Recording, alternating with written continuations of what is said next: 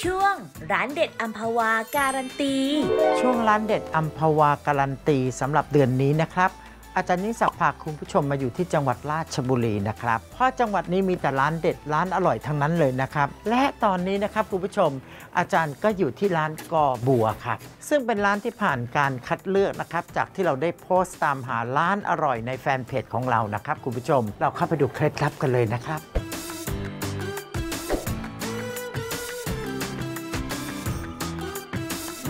ต้องถามคุณนนท์คนเขาบอกว่าถ้ามาราชบุรี ถ้าหากว่าไม่มาทานแกงอยู่หนึ่งอย่างที่ร้านกอบัวเหมือนมาไม่ถึง นั่นคือแกงอะไรคะแกงเผ็ดเป็ดย่างครับ ใช่ถ้วยนี้หรือเปล่า ใช่ครับถ้วยนี้นะเหรครัออาจารย์ทำไมถึงได้คิดที่จะทำแกงเผ็ดเป็ดย่างขึ้นมาล่ะคุณนนท์ด้วยความที่เป็นคนชอบทานแกงกะทิเอย พวกเนื้อสัตว์อะไรแปลกๆเนี่ยครับก็เลยชอบ แสดงว่าที่กอบัวนี้ถ้าเป็นเมนูแกงกะทิเนี่ยก็ที่นี่ชนะเลิศใช่ไหมก็คิดว่าอย่างนั้นครับเหรอาอจารย์แหมฉันคงต้องพิสูจน์ละได้เลยครับอาจารย์ครับดูก่อนนี่อะไรคะเนี่ยอันนี้ลิ้นจี่ครับอ๋อแกงเผ็ดเป็ดย่างใส่ลิ้นจี่ด้วย นี่น้ำแกงอะดูข้นเป็นครีมน่าทานจังเลยอะขออนุญาตชิมนะคะ ตายแล้ว สีสันสวยลักษณะเป็นครีมน่ากิน กลิ่นก็หอมมากเลยอะ โอ้โห รสชาติกลมกล่อมจังเลยอะ เครื่องแกงนะ ความมันนุ่มละมุนมันเข้าไปอยู่ในเนื้อเป็ดเลยอะครับรสชาติเข้มข้น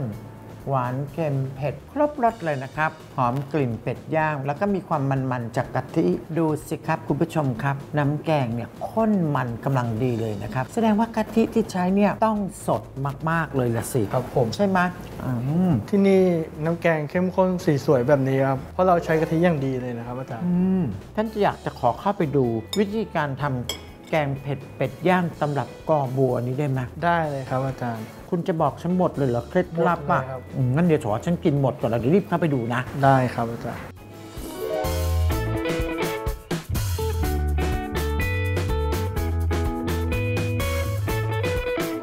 นี่เลยครับเคล็ดลับเมนูเด็ดได้รสชาติเหมือนกะทิคั้นสดครับ ใช้สะดวกไม่ต้องเสียเวลาคั้นเอง ใช้ได้เหมือนกะทิสดไม่ต้องปรับสูตรครับ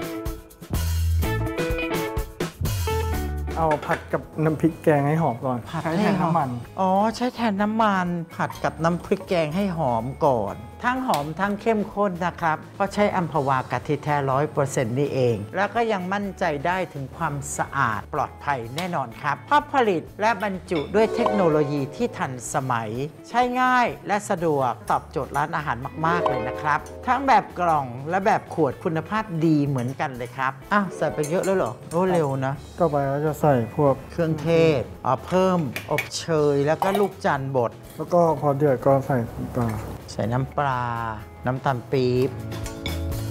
แต่เมื่อกี้นี่อยู่ในถ้วยเราไม่เห็นเครื่องเทศนะ เวลาตักเสิร์ฟเราก็จะไม่ใส่ไม้ไปใช่ไหมใช่ครับ พอเดือดแล้วก็ใส่พวกผลไม้เลยผลไม้ ลิ้นจี่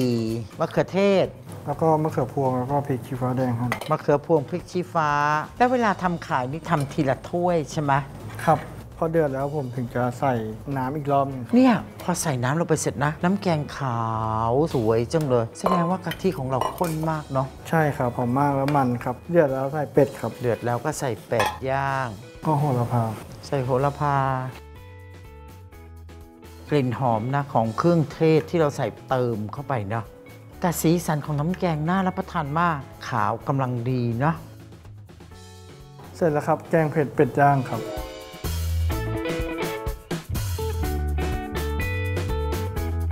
ลองสิครับอัมพวากะทิแท้ร้อยเปอร์เซ็นต์ขั้นทันทีตั้งแต่กระทบเปลือก ไม่ว่าจะทำเป็นเมนูคาวหวาน ก็จะกลายเป็นเมนูเด็ดประจำร้านได้นะครับ ขาวข้นหอมมันเหมือนกะทิคั้นสด แบบนี้ต้องอัมพวาเท่านั้น ก็ต้องขอขอบคุณคุณนนท์มากเลยนะครับ ที่มาให้เคล็ดลับแล้วก็ความอร่อยกับอาจารย์ แล้วก็คุณผู้ชมทางบ้านนะครับ อาหารรสชาติดีดีๆแล้วก็สะอาดมากปลอดภัยแบบนี้รับไปเลยครับป้ายการันตี